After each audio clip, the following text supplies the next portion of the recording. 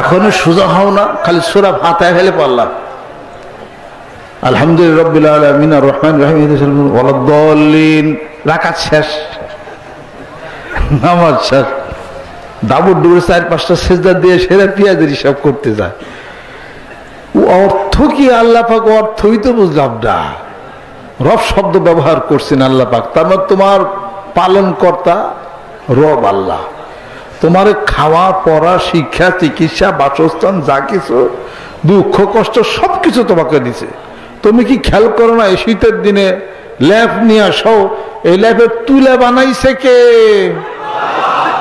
এই জন্য আল্লাহর রব। তোমার বেটনেস তোমার এই শ্বাস প্রশ্বাস এক্সপানশন হচ্ছে। তোমার হার্টের মধ্যে the heart is divided into four parts. Right active, right ventricle and left active and left ventricle. Left ভেন্ট্রিকুলের মধ্যে এই যে এক্সপানশন হচ্ছে, রক্ত সাতটাছ নিতাছ এটার পিছনে কাজ করে কে? এটার পিছনে কাজ করে অনন্ত শূন্যতর উপরে নয় কোটি তিরিশ লক্ষ মাইল দূরে আল্লাহ পাক সূর্যকে একটা সঠিক অবস্থানে দাঁড় করায় রাখলেন। সূর্য যদি তার অবস্থান থেকে একটু আগায়া যদি আসতো, গোটা বিশ্ব পৃথিবী জ্বলে পড়ে ছাড়খার হয়ে যেত। আবার একটু পিছনে যদি চলে যেত, গোটা বিশ্ব পৃথিবী বরফে ঢাকা পড়ে যেত। আল্লাহ রব্বুল আলমিন বলতেছেন, আমি আল্লাহ পাক সূর্যের সাইক্লিক অর্ডারটাকে আমি ঠিক রেখে সঠিক অবস্থানের মধ্যে দাঁড় করে রেখে ফটোসিনথেসিস ট্রান্সমিশন আমি তৈরি করলাম। আর ওই সূর্যের আলো গাছের মধ্যে পড়ে গাছে অক্সিজেন তৈরি হয়। ওই অক্সিজেন ওই অক্সিজেন শূন্যতার মধ্যে থাকে, বাতাস দিয়া ডাইলেশন করে তোমার নাকের মধ্যে ঢুকাইয়া রক্তের মধ্যে অক্সিজেন আমি ঢুকাইয়া রক্তটাকে পিউরিকো পিউরিফাই করলাম। রক্ত যদি, অক্সিজেন যদি ফেল করে, লাঞ্চের মধ্যে পানি ঢুকে যায়। শ্বাস নিঃশ্বাস বেড়ে যায় এই জন্য ডাক্তাররা ফ্লু লাখ খাইবার কয় তাড়াতাড়ি। ফ্লু লাখ ইঞ্জেকশন দেয় তাড়াতাড়ি। ফ্লু লাখ ইঞ্জেকশন দেয় আবার ওদিক দিয়ে কি করে? ল্যাসিক্স কি করে? ইঞ্জেকশন বা স্পাইরোমেট খাওয়া এগুলো করলে তাড়াতাড়ি সে রিলিফ পায় আর কি, অক্সিজেন দেয় তাড়াতাড়ি। আল্লাহ পাক অক্সিজেন বানাইছে কে? হিসাব পত্র করতে হবে। অথব এই জন্য আল্লাহ রব। আলহামদুলিল্লাহ রব্বিল আলমিন। জুরিকুন সুবহান আল্লাহ মুস্তাকিম। সরল সঠিক পূর্ণ পন্থা মোদের দাউগ বলি, চালাও সে পথে, যে পথে তোমার প্রিয়জন গেছে চলি। যে পথে তোমার চির অভিশাপ, যে পথে তোমার চির ভ্রান্তি পরিতাপ, হে মহাচালক, মোদের কখনো করুণা সে পদেগামী। এই পৃথিবীর যত চাওয়া পাওয়া সব সুরাল ফাতেহার মধ্যে আল্লাহ পাক বর্ণনা করে দিয়েছেন জুরুকুম সুহান আল্লাহ আল্লাহ পাক জানি কবুল করে নেন। কাজে আমি মনে করি আলেমালামা জেনার বক্তব্য দিতেছেন, কত জ্ঞান, কত কিছু জানার বহর। কে কোনটা জীবনের বাস্তব অভিজ্ঞতার জীবনে আলো থেকে কোনটা জানলো, ওইটা আপনি ওইটা আপনি নিয়ে নেন। ওইটা আপনি গ্রহণ করুন ওইটা। এখানে মহৎ ব্যক্তিজনের সমারোহ ঘটতেছে। অনেক জ্ঞানী গুণীজন এখানে আসেন, কিছু সুযোগ দেই, অল্প সময় হলো। ওনারা জ্ঞান বিতরণ করেন। জ্ঞান বিক্রি করে যান। আপনার উচিত, আমাদের উচিত জ্ঞান। সুবহানাল্লাহ। মধুর মধ্যে শুধু গুড়ের উপাদান আছে নাকি? মধুর মধ্যে কি আছে? যে সমস্ত বস্তুর মধ্যে ক্যালসিয়াম আছে, মধুর মধ্যে ক্যালসিয়াম আছে, পটাশিয়াম আছে। আর যেটা সবচেয়ে মানবদের জন্য যেটা দূরি দরকার, এমানাই সাইট মধুর মধ্যে আছে। মানুষের পুরা এই যে ডিসজেনারেটিভ ডিস্ক ডিজিজ হয়, তার লাম্বাল গুড়ির মধ্যে, ডিস্কের মধ্যে তার সমস্যা হয়, ডিজেনারেটিভ হয়। মধু খেলে এটা আর হবে না। মানজা বিষ, পিট বিষ, উঠবার পারি না। মধু খাও মিয়া।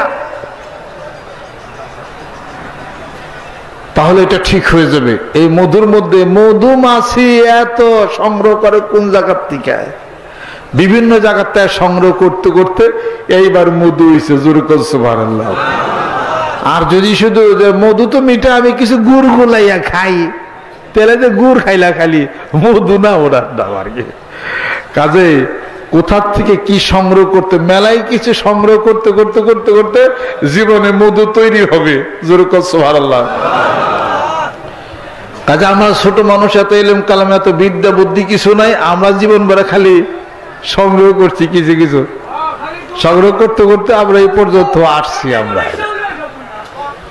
আমি তখন ছোট ওই আলিয়া মাদ্রাসা আমি পড়াশোনা করি, কৃষ্ণদের থেকে। তখন তো গাড়িটাই আমাদের ছিল না।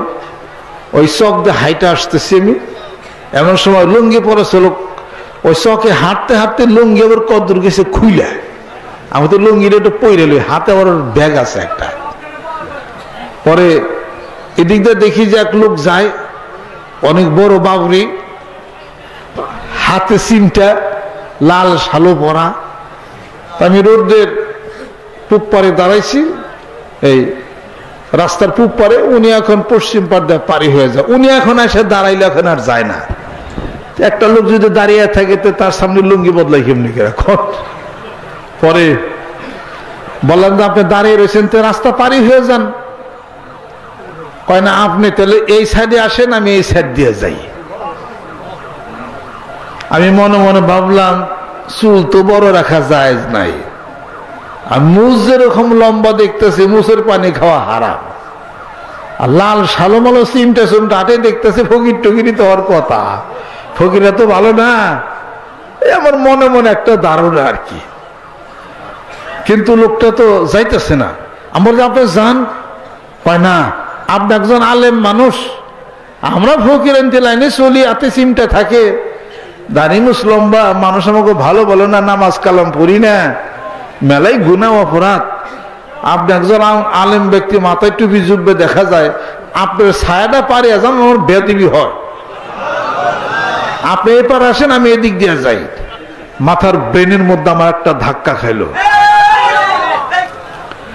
যে মনে করি আমরা যা, আসলে ওনারা তা না। আসলে তো ভালো মনের মানুষ সকল আছে পৃথিবীর বুকে। ব্রেনের মধ্যে ধাক্কা খেলে তখন আমি ছোট। বাসায় এসে আব্বাকে বললাম, আব্বা বললেন যে হ্যাঁ শেখা রাখো লোকটার কাছ থেকে। মুরব্বী জনের ছায়া পাড়ায়ও না, আলেম ব্যক্তির ছায়া পাড়ায়ও না। আব্বা তো এটা বললেন না, যে এটা ফকির মানুষ বিষয় বৃত্তান্ত হে আবার কি জানে? এটা তো বললেন না। কিন্তু তার ভিতরে ধারণা একজন আলেম ব্যক্তি তাকে আমি সম্মান করে, তার ছায়াটা বাড়াবো কেন আমি এটা? ওই ওখান থেকে শিখে নিছি। যদি মলানা পড়ে না, কিন্তু তার জ্ঞানটার অভিজ্ঞতা অনেক বেশি। নিজেরে বড় মনে করো না। এই পৃথিবীর বুকে যারা বড় হয়েছে বড় গুণ অর্জন করে না, ছোট গুণ অর্জন করে বড় হয়েছে দিক আলাপ আলোচনা করে আমার মসজিদের বলিষ্ঠ নেতৃত্বে টেকটপ থেকে তেতেরা পর্যন্ত এই অমিয় বানিয়ে আরে ইল্লাল্লাহ জিকিরের দুর্গ গড়ে তুলতে হবে। রাজি আছে? হাত নাম সকলে গায়ে গায়ে ডান হেদুদের গোনার জন্য তবা হবে। ওলাম একরাম আসছেন নতুন, জেনার আসছেন বরকতান আপনাদের জবান থেকে আমরা শুনব ইনশাল্লাহ তালা সোরাব আছেন এবং আমাদের মাওলানা আবু জাফর সাহেব আছেন। মেহরবানি করে নতুন ওলাম একরম সকলের নাম লিখে দিয়ে সবাইকে বক্তব্য দেওয়ার সুযোগ দেন। আল্লাহ পাক যেন আমাদেরকে কবুল করে নেন, আল্লাহর অলি আল্লাহ পাক বানায় নেন। দূরে কাছের বন্ধুরা, বাংলাদেশের বন্ধুরা, অনেক দূর থেকে যারা এই বিশ্ব ইস্তেমা যারা যারা আসছেন, বন্ধুরা আপনাদেরকে আমরা আন্তরিক মোবারকবাদ, সম্মান এবং শ্রদ্ধা জানে আসুন। মানুষ মানুষকে সম্মান করি, শ্রদ্ধা করি, কাউকে দুঃখ, কষ্ট, আঘাত না দে আল্লাহ আমাদেরকে যেন কবুল করে নেন। টঙ্গির বিশ্বস্তমাকে আল্লাহ তুমি কবুল করে নাও।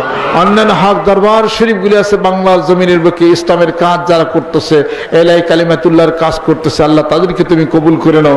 মানিকন দরবার শরীফের নেতৃত্বে কোরআন শিক্ষার ব্যবস্থা, কোরআন জানা, মানা, বোঝার ব্যবস্থার জন্য দুজন কারি সবকে নিযুক্ত করে কারি শফিকুল ইসলাম সাহেব এবং আরেকজন কারি সাহেব, যিনি নটের সময় আমাদেরকে শিখাইছেন, জানাইছেন, আমি খুশি আল্লাহ পাক কোরআনুল করিমের খেদমত করার জন্য এই নগণ্য বান্দাকে গোলাম হিসাবে যদি কবুল করে নেন। আল্লাহ পাক যেন কবুল করে নেন। সকলে গায়ে গায়ে ডান হাত ধরে কোন আউজবিল্লাহ হিমিনে শৈতন রাজিম। বিসমিল্লাহ রহমান রহিম। তাওবা কিয়াময় সবুরি बातों से और सब बुरे कामों से और बैत की हमारे ऊपर हाथ मोहम्मद मंजरुल इस्लाम सिद्दीकी खलीफा अलहास हज़रत मौलाना मोहम्मद अजहरुल इस्लाम सिद्दीकी साहिब की।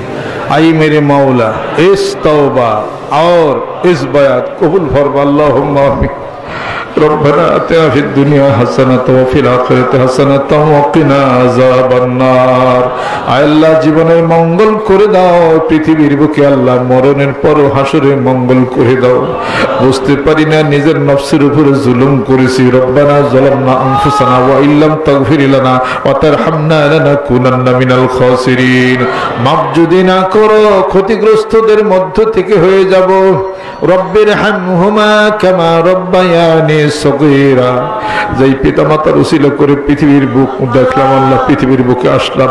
আমাদের পিতামাতা ছোট বয়সে যেইভাবে বাচ্চা বয়সে আমাদেরকে লালন পালন করেছেন, মাওলা কেয়ামাতির দিন মুসিবতের সময় ওই পিতামাতাকে অনুরূপ ভাবে লালন পালন করে নাও। আমাদের উস্তাদ যিনারা আছেন, যে যেখানে আল্লাহ কবুল করে নাও। জানি না কোন আশেক পাগলের হাত তোমার দরবারে কবুল হয়ে গেছে আল্লাহ। ওই আশেক পাগলগুলির হাত রুসিল করে মাহফিলকে তুমি কবুল করে নাও। আলেম আলামা হাফেজ কারি হাত তুলেছে আল্লাহ কবুল করে নাও। এলাকাবাসী যিনারা আছেন কবুল করে নাও। দোকানদার বন্ধুদেরকে কবুল করে নাও। আল্লাহ বাংলাদেশকে কবুল করে নাও। মারামারি, রক্তপাত, হানাহানি তুমি বন্ধ করে দাও। একজন আরেকজনের প্রতি শ্রদ্ধাশীল তুমি বানাই দাও। আল্লাহ, আমার কোনো আমল নাই, কোনো এলিম নাই। আল্লাহ, এই মহৎ ব্যক্তি জনের সাথে আমাকে তুমি কবুল করে।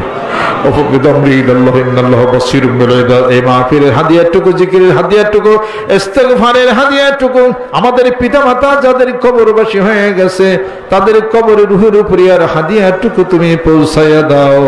রাস্তায় যারা আসতেছে, আল্লাহ তাদেরকে তুমি হেফাজত করে নাও। সুবহান রব্বিকা রব্বিল ইজ্জাতি আম্মা ইয়াসিফুন।